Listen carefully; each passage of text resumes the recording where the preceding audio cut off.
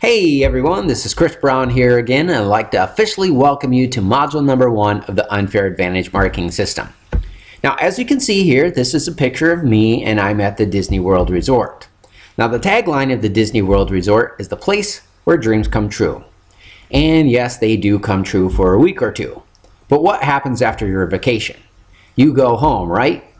So what is your dream? We don't want you just to make a living. Now, one of my dreams was to live my life like I'm on vacation. So recently I moved about a mile from the Disney World Resort. Now, what is your dream? We all have friends, family, hobbies, and things we'd rather do than working, right? However, we need the time and the money to do those things. Now, this here is Steve Jobs. But who is this? His name is Jack Wells. He started his business in 1946 and at age 106, he is the oldest living business owner. In Berrien Springs, Michigan, there's a place called Toppers that opened up the same year McDonald's opened. Steve Jobs and McDonald's used the formula to make more in less time. Now, even though you may not realize it yet, science is a big part of business. So what we can do is we can use the laws of Mother Nature in order to be more successful. Now, if you've ever seen the TV show The Big Bang Theory, Sheldon Cooper is a quantum physicist. Now, how many of you understand quantum physics? Don't worry, neither do I. But I do understand some of the basic principles. Now, to keep things simple, you've probably heard the term the 80-20 principle. Quantum physics shows us that we get 80% of our results from 20% of our effort. And since we know that, we can focus on the things that generate 80% of our revenue. We see a lot of businesses wasting a lot of time on things that keeps us busy but has very little impact on the overall success of our business. Now, because of this science, we see that most businesses are working an additional six hours per day more than they need to. Now, I hear a lot of businesses tell me that they are too busy. They are not too busy, they are just too busy doing the wrong things. The book, The 80-20 Principle, says that hard work makes a person too busy to see what's important. Now, 250 years ago, 98% of people were in food production. Because of the Industrial Revolution, it dropped to only about 3%. We produce more food with less effort. The same is true in the information age. We have provided you with the tools to get more done with less effort. Because of this, Tim Ferriss wrote the 4-Hour Work Week, Escape the 9 to 5, Live Anywhere, and Join the New Rich. This is all possible because of the 80-20 principle of quantum physics. Because of this, I moved less than a mile from the Disney World Resort. Take for instance this video. I wrote this video hanging out at the Floridian Resort. Because of this principle, you will see that there are some customers who are just a lot more work than they're actually worth. You might even decide to get rid of certain customers because they require too much of your time compared to what you're being paid. You might also decide to stop doing certain tasks in your business. Some of you are trying to be a successful business owner doing the job of a 15 to $30 per hour employee. We have experts who will do some of your unimportant tasks for you for as little as five bucks. Now, we all know that most businesses fail, right?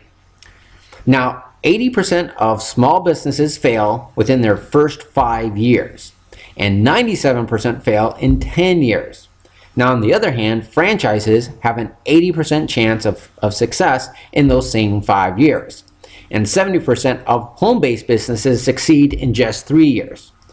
Now, before you became a customer, I shared with you $1.5 billion in research of what all the world's most successful people and businesses have in common. Now, eMyth Worldwide says that the businesses that use marketing systems, 95% of them succeed. Franchises and home-based businesses built their business based upon systems. No matter what your opinion is, the facts show 80% succeed in five years. And 70% of home-based businesses succeed in only three years.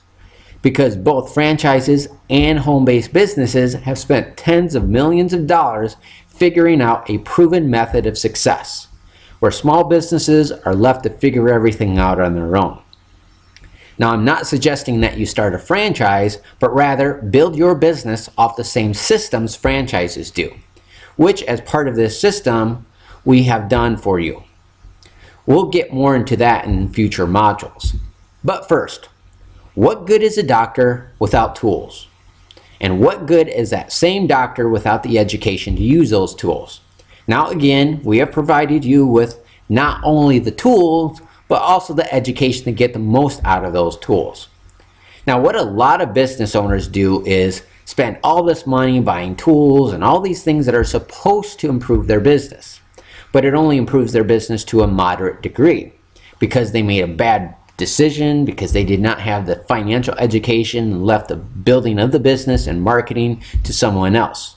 Or they did not have the education to use those tools.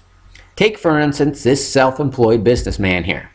He used a tool you all have, the telephone, to build a $350,000 per month income in his first 12 months by working an average of two hours per day by using the 80-20 rule and eventually sold his company for $36 million. Now, in some of our previous videos, you saw that Dun Bradstreet says that the businesses that focus on personal development, 90% of them succeed. And other research shows that the average millionaire spends 60 minutes a day educating themselves on financial issues, whereas the average millionaire has read the book Think and Grow Rich 14 times and the book How to Win Friends and Influence People seven times. Now, Rick Harrison of the TV show Pawn Stars reads three hours a day, of course, on things educating himself about his business, but also on history and things about his own products and services. Now, Jim Carrey calls the self help section at the bookstore the Jim Carrey section because he has read so many success books he needed to develop the skills not to be an actor, but to become a successful actor. Now, on the other hand, the average person watches six hours of TV every night and spends another five hours online in non productive activity, and two hours on their cell phone in non conversational activity. Now, even if your goal is not to become a millionaire, the goal is still the same. The money motivated person wants to make more money with less effort so they can make more money faster. Your goal might be to make more money by working less hours. So it doesn't matter how much that you make per year. What matters is how much that you make for every hour that you work. Okay, now we got that covered. Let me share with you the formula that Ray Kroc of McDonald's and Steve Jobs of McDonald's used to make more money in less time and how you're going to use this to do the same. Now in future modules we will show you some ideas for additional streams of income that will make you more money but will require less time. But before we get started, we need to create your business plan. Most businesses do not have a plan. They just say, I want to make some money. But you have to have a plan to be able to do that. Or they don't focus on sales at all. Instead, they focus on their craft. In other words, what they do. You need to stop working and start selling. The moment you stopped working a job, you became a marketer of the products and services you provide. A dentist who works as a dentist is a dentist. But a dentist who runs his own dental practice is number one, the marketer of dental services, even though he still might do the job of a dentist. Now down below this video, we have provided you with your business plan that we call as the mathematical formula to writing your own check. Now, as I mentioned, science is a big part of business. This is Mark Yarnell. We will talk more about him in module number two. Now, Mark Yarnell is a self-employed business owner. He built a $36 million business by working an average of two hours per day. Now, how did he do this? Now, we've all heard that sales is a numbers game, right? But has anyone ever told you what those numbers are? Probably not. When you know how much that you make per sale, and you know what how many people you have to expose to your marketing message in order to make that sale, at that point you just wrote your own check.